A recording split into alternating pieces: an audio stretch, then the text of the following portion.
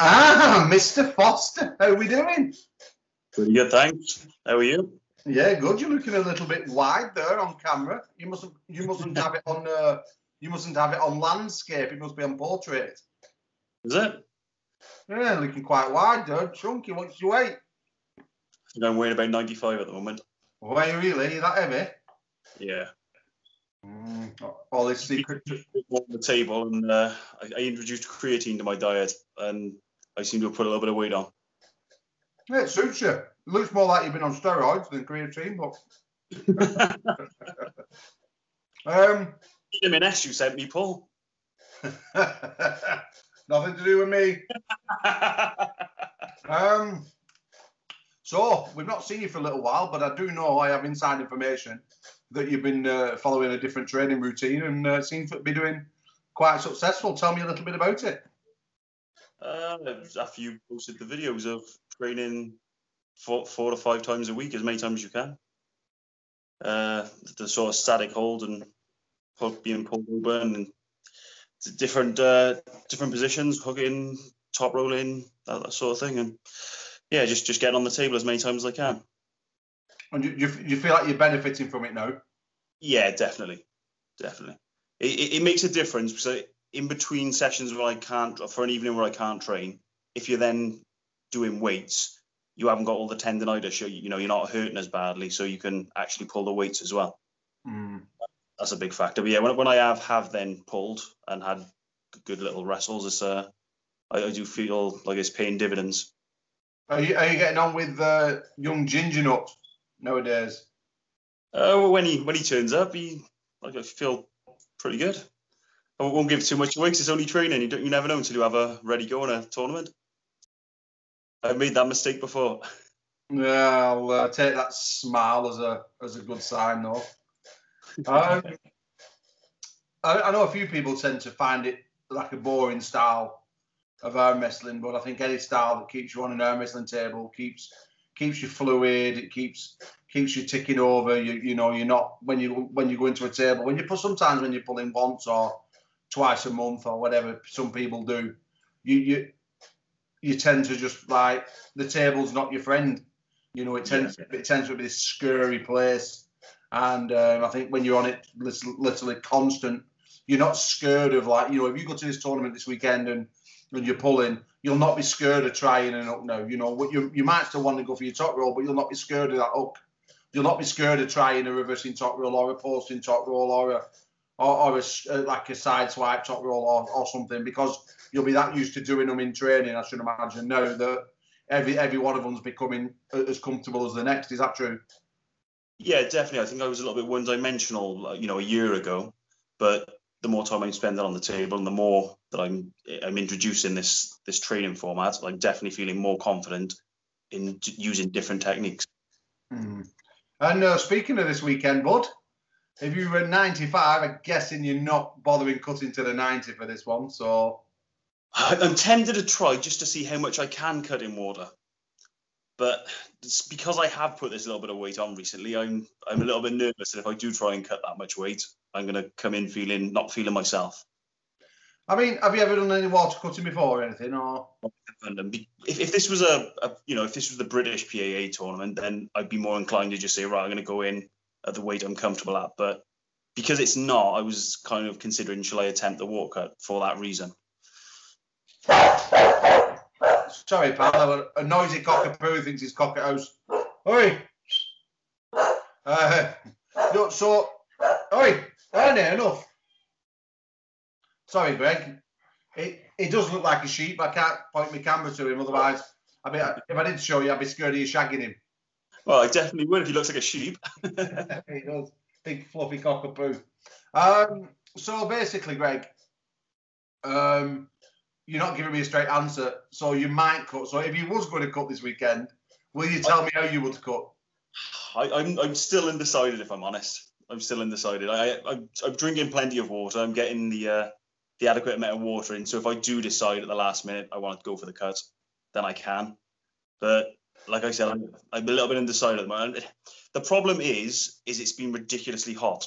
Now, when I'm working in in my line of work, in the middle of the winter, I'm normally running around in a t-shirt and sweating. So as you can imagine, I'm losing a lot of water as I'm working at the moment. So I'm kind of thinking to myself, I'm, I'm sort of drinking eight to ten liters of water at the moment a day, and I think I'd have to be drinking maybe more than that if I was gonna try and cut. I, I'm, I'm not too sure. I'm not too sure.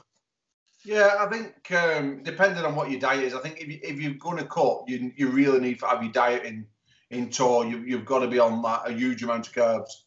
Um, I, I do eat a lot of carbs. Having said that, You do. Do you know? Do, Yeah. do you know how many you're taking in? Because I, I think cutting's a fine art. Really, if you want to cut properly, then you, Yeah. you've got to, you've got to get it into a fine art, and uh, you've really got to start counting. How many are you doing about? on an average day, I normally consume about six thousand calories. Now, I'd have to double check. I was using a, an app during the lockdown to monitor how much I was eating. I'd have to double check how much of that was in carbs, but I know the, the main bulk of it was in carbs. Yeah, well, you, you, you should be okay then. As long as you've got your carbs up, then obviously you've got the water to lose. Um, what's your piss like? Is it orange or green, or is it clear when you're drinking all that water? Perfectly clear at the moment. Yeah, so you're fully, you're properly hydrated then. Yeah, Yeah, so you're not too bad. Uh, that's one of the biggest problems I'm finding. I'm having to pee every five seconds.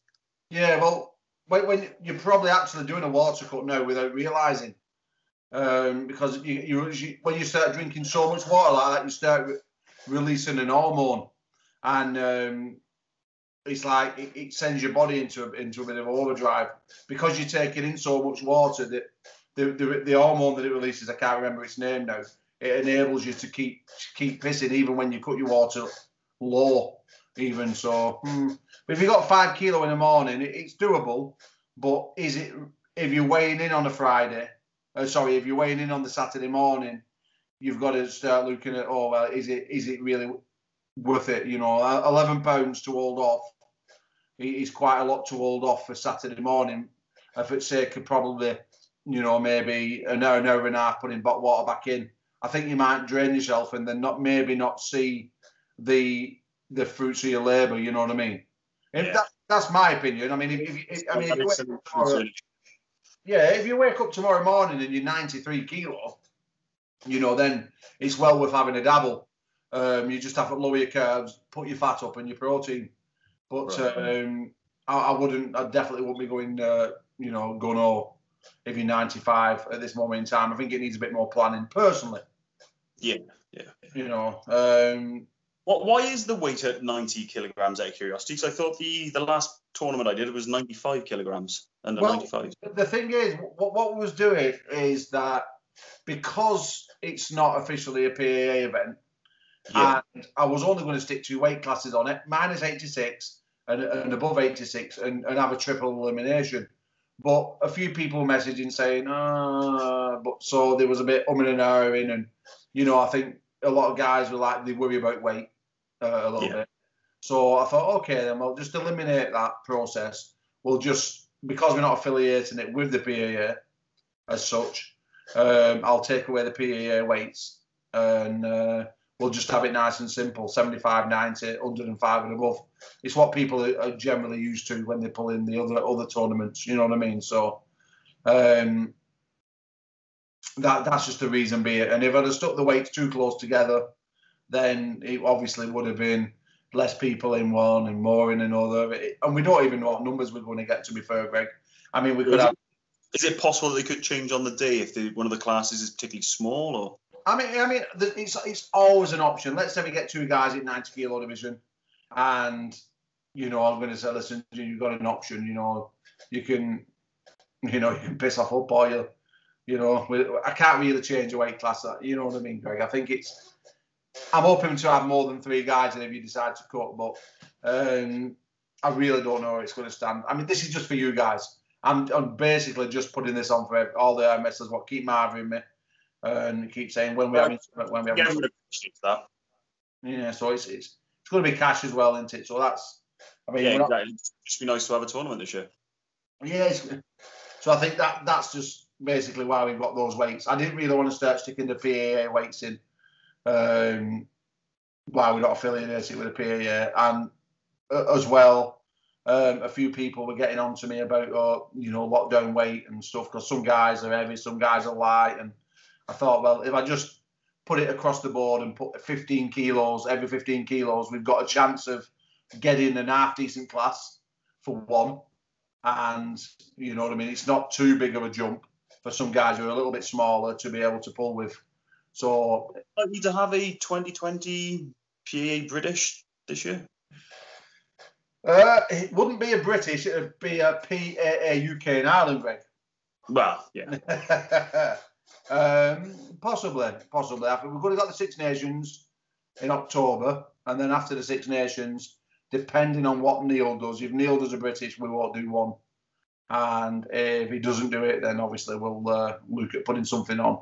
But next year is going to be a really stacked card. We're going to looking at get six tournaments in. So fingers crossed, everything goes well, and uh, we can push for that drug testing in 2022. That's good. Yeah, I had this conversation the other day, and uh, I think it, it, will be it'll be good. Um, we, have got to have the drug testing in place if we want to be considered for a lot of a lot of the main tournaments. Um, we, if we want to be considered for sponsorship or taken seriously as a sport in, in UK and Ireland, so we've got to have that as well, haven't we? So yeah, yeah we'll, we'll, we'll, see how that pans out. So tell me, who do you feel like uh, you want to you want to try and put to the sword at the weekend? Who's who's the ones that uh, you've been you've been keeping your eye?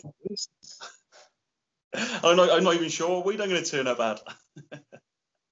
no, I, would rather just turn up and focus on myself rather than be turning up thinking, right, I want to beat this person on that person. It's, it's a lot easier to go there with a, a plan in your head and try try and put it into practice. Plus, it's a tournament. You don't even know if you're going to meet the people that you want to beat. No, no. I, am thinking if you're pulling 105, I'm thinking that might be a, a tasty little class. Who's likely to be in there from your your club? Jonty Murphy. Yeah. Um, he'll be the only one in 105s, and then I think Chris Fellows will be in there. Year old, year old four at 90 kilo. He, he's, he's up there about 95 kilos as well. Okay. Uh, I'm not quite sure. I think Matt Putic will be up there. I'm sure he'll be uh, difficult to beat for anyone at 105. All right. Uh, most of my team are pulling supers: James Beach, Ethan, um, Stephen Rhino. Uh, I know Mitch Tuts. I know Mitch. as well as the amateur. Yeah, everyone's pulling amateur and pro. Yeah. Right. Uh, that's something I'm I'm keen to do is to whatever weight I come in at is to pull the amateur and the pro. Yeah, but look, I look forward to seeing how you work with Dave Kelly. He's only pulling pro, but he's, he's going to be 90 kilos. So obviously, if you decide to dump that weight, then you'll be going up. But then you'll you'll run into uh, another match I'm interested to seeing you against is uh, Atom Bomb Tom right-handed. how, how you see that one going? Uh, I don't know. Tom's uh, got a pretty good record at the moment, hasn't he? Yeah, it's, it's well, you are saying what I can and can't do, but until you get to the table, that's a different story. And Tom's been impressive. Everyone he's come up against, he's beaten. You've been you've been very coy. I, have got a, a, sneaky suspicion that you're going to be coming in extremely strong. Oh, I hope so. Uh, reports of Dean, Dean were telling me. So, anybody else coming from Wales with you? Uh, I think Josh is coming up with me. Uh, obviously, Dean's going up the night before. Um, I, am not too sure. I'm trying to see if Drew Holloway will come up, but I think he's the only other possible. Uh, what what weight's he? Drew. Drew's quite heavy. I think he'd probably be over over 105. Over 105. Uh, and uh, big match at weekend. Who, who, you never sent me a, a reply, and who uh, did, oh, I do apologize. You sent it to me when I was busy, and by the time I looked at it again, I'd forgotten all about it. I, I saw the video then before I'd realised I hadn't sent the message. How'd you see it going? Um, I, I suspect you'll uh, you'll get the better. Well, is, that, is, that the one you're right now? Hang on, which, which, which one are we on about? Carl Hutchinson. Yeah, yeah. I, I, I suspect that you'll get the better. I, I think the video I saw when you pulled him, the only reason it went to straps was because you allowed it to go to straps. You, if I remember correctly, you had all of his fingers and you could have probably done a little bit of damage before, if, if not slipped. I think you could have done a bit of damage first. So I think he was quite lucky to get into that strap in the first place. And I, I think you were a bit tired on that day. And on a different day, I don't think it would even have been that close. So he's probably improved. So he's, you know, he's relatively new to the sport, I believe. So yeah, I mean, I, there is a chance that he's he's improved a fair bit, but I, I think I think he had a, a, bit, a pretty soft pull maiden that day. Yeah, um, he was a better man on the day, beat me fair and square. I'm looking forward to it. I'm, I must admit, I've, I've not had uh, my teeth into something like this for a, a long time. It's been, it's took a while for me uh, to get my teeth into something, and um, he's, he's definitely given me something to focus on, if nothing else. I mean, I can't promise a victory, but I, I can tell you that I am going in there with the mindset I'm ready, and I believe I can win. So, um, if he just throws me to the pad, then I'll shake his hand, and I just nothing I can do. But um, I do believe I will be victorious. Let's hope that bicep holds up this time. well, I look at it this way: you've got to look at the positive things of it. It's snapped and it ain't coming back, so it can't snap on that side again, can it? I hope not. Well, there's nothing. Looking in the middle of nowhere. Yeah, but there's there's nowhere there's nowhere for it to snap now. Look. Or if it snapped at the top, or the what would it snap at the bottom, didn't it? No, mine snapped at the top. All all three tendons went ba ba bang. I've got one tendon one tendon left here. What if, what if that one snaps then? And what if Yeah. it snaps at the That bottom? that one it's about it's about that. It's, it's like a car seatbelt that one now. I should hope so. Yeah, it is. It's like a car seatbelt because you get four tendons running over your shoulder, and three of them went. But it's all right. I can, you know, when I first did it, I couldn't put my hand above my head. That's as far as I can do it now. You know, that that's like full range of shoulder. But no, where's it be uncomfortable? That one obviously does that. But um, you know, thanks, thanks, thanks for that, Carl. That's I can get a full thingy. You know, arm doesn't straighten all the way, but it's not too bad. You know, he's, he's disfigured me. You know, he's like, and then he sent me loads of private messages calling me uh, Quasimodo and Tell- then, then telling me how he's maimed me and stuff. You know, we, we, we laughed it off. Cheers for that, Carl. So you're ready. You're coming in strong. You've got new training under your belt. You've grafted all the way through you at lockdown. I've seen some ridiculous wrist curling videos coming from you as well. yeah, I've been working hard on my wrist, hand and wrist. Yeah. I mean, I remember pulling you back at David Bradford's place and uh, we were just messing around left handed. And I thought, got a little poke here in his hand and wrist. I thought it felt it felt good. I've not felt anyone feel feel solid like that for a while. Um, that, that was I remember that was for the BBC filming, was it? yeah, yeah. Yeah, I was I was very tired that day as well. I, I, I think I gave a pretty poor account of myself on that BBC filming. I've uh, I got I got making up to do because of that. The night before.